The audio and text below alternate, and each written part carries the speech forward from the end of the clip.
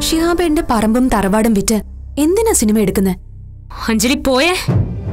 ഇന്നിനി റോഷയുടെ റൂമിലേക്ക് വരണ്ടെന്ന് പറഞ്ഞാലും ഞാൻ വരും. റോഷേട്ടൻ എനിക്ക് മനസ്സറിഞ്ഞ് വാങ്ങിത്തന്ന ഡ്രസ്സും ധരിച്ച്. ആ സങ്കടമൊക്കെ ഇന്നത്തോടെ തീരും പാപ്പ ഞാൻ പോവാ. ഇനി കാണാൻ പറ്റുമെന്നറിയില്ല.